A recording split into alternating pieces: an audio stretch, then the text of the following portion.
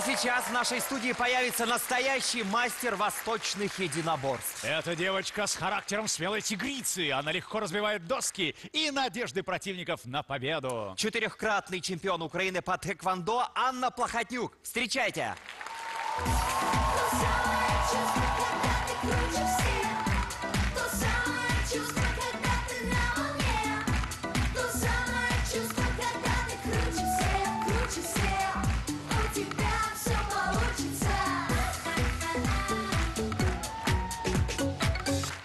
Вышла девочка ля-ля-ля-ля-ля. И ничего вроде бы не ожидаешь, только где же модная платьица? Почему же вот такой вот странный наряд? Кимоно называется это красивое? Дабок. Как? Дабок. Дабок? Да. Вот, значит, не кимоно, а дабок. Так, началось. А как вы здороваетесь, когда вы ходите на свое татами, в свой ринг? Вот как-то так там? или, или как примерно? Э, рефери говорит э, чарет, Чарет, да. Кёне, мы говорим тейквон, тейкон. Да? Тейкон, да. Тейкон. да. Это сложный ритуал, его надо учить достаточно долго. Ладно, на все вопросы, юная леди, вы будете отвечать Андрею Данилевичу. Я пошел учить вот это ваше кёне, тэкон и тому подобное. Встретимся. Хорошо.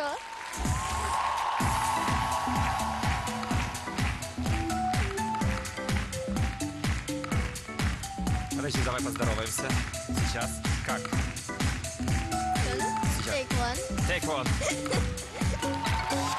Присаживайся. Слушай, а мне интересно, вот все вот эти вот нашивки, это что, количество соперников, которых ты уложила? Нет, А это это? федерация. Это мой клуб. Название моего клуба. А красный пояс, ну, для красоты, потому что ты девочка. Нет. Цвет пояса показывает, на какой ступени познания тайквондо находится спортсмен. Белый пояс. Это начинающий. А, А у меня предпоследний. А после него только черный. это высший пилотаж уже. Да.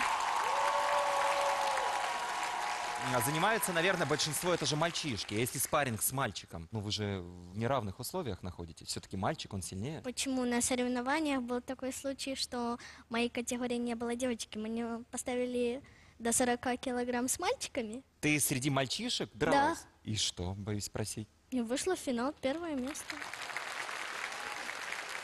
А у тебя были истории, когда тебе пришлось постоять за себя? Не на ринге где-то, не на соревнованиях? Я защищалась за мою подругу. Старший брат ее обижал.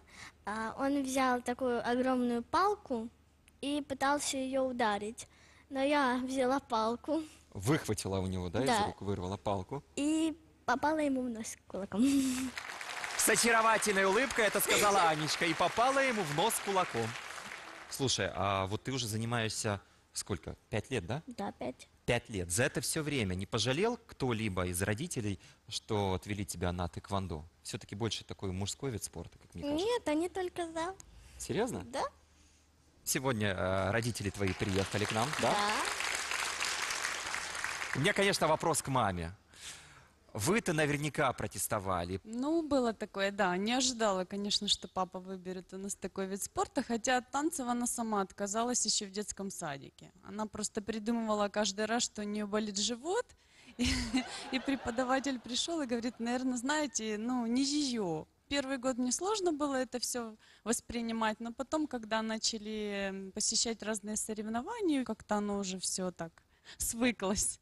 Правда, что Иванечка тоже теперь решил по стопам сестры пойти? Да, он уже как год занимается. А ты уже научила каким-то приемам братика? Чуть-чуть, да, отрабатываем с ним.